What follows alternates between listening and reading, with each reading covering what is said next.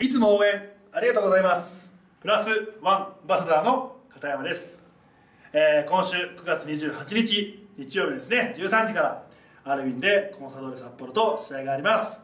でこの試合も非常にこう大事な試合となってます。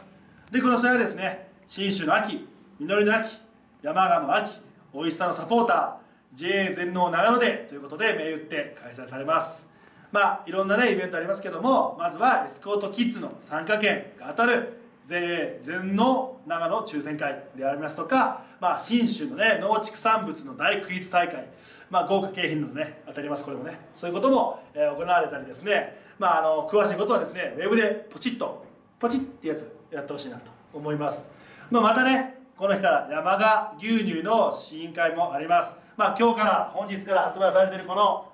山鹿牛乳こちらですね。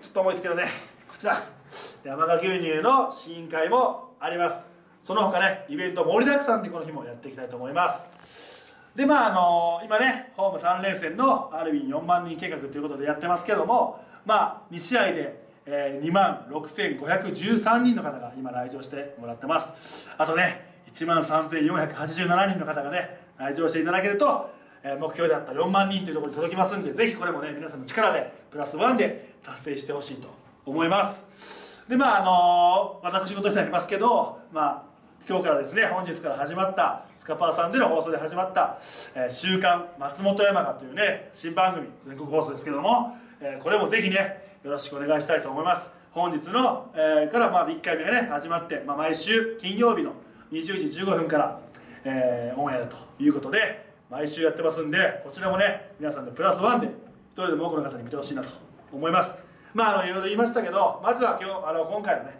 コンサートで札幌に、えー、しっかり買ってね9月シリーズを締めくくるってことが大事だと思うんでまたこの試合も本当に多くの方来てくれるということを思いますんでぜひ皆さんプラスワンで、えー、来ていただいて牛乳もいっぱい飲んでもらってですね山川を勝利に導いて導いてほしいと思います。それでは当日ある意味で待ってます。牛乳も待ってます。